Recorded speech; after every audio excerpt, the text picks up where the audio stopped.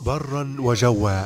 فرق عسكرية في شوارع العاصمة وجادوجو فالأجواء في بوركينا فاسو لا تزال ملبدة بالغيوم عقب الإطاحة برئيس المجلس العسكري الحاكم.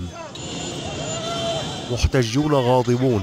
هاجموا مقر السفارة الفرنسية في وجادوجو بعد أن اتهم المجلس العسكري الجديد في الدولة الواقعة غربي إفريقيا فرنسا بإيواء الرئيس المؤقت المخلوع وهو اتهام نفته باريس.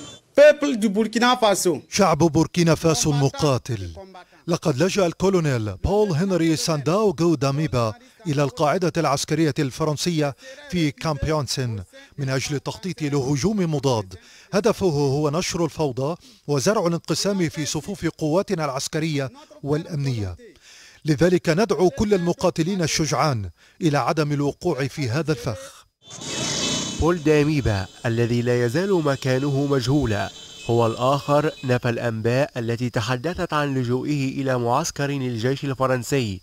وطالب القائد العسكري الجديد إبراهيم تراوري بالعودة إلى رشده وتجنيب البلاد ويلات الحروب.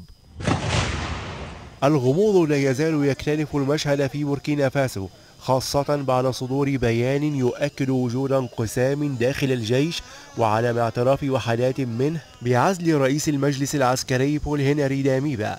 ومع حالة عدم الوضوح أصبح المواطنون غير آمنين على أنفسهم وممتلكاتهم. هناك حالة من الذعر في السوق. سمعنا إطلاق نار على مقربة منا ولم نعلم السبب. من الأفضل العودة إلى ديارنا.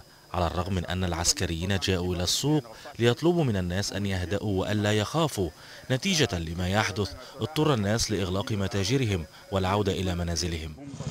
يأتي ذلك بينما عبرت الولايات المتحدة عن قلقها الشديد إزاء الأحداث في بوركينا فاسو.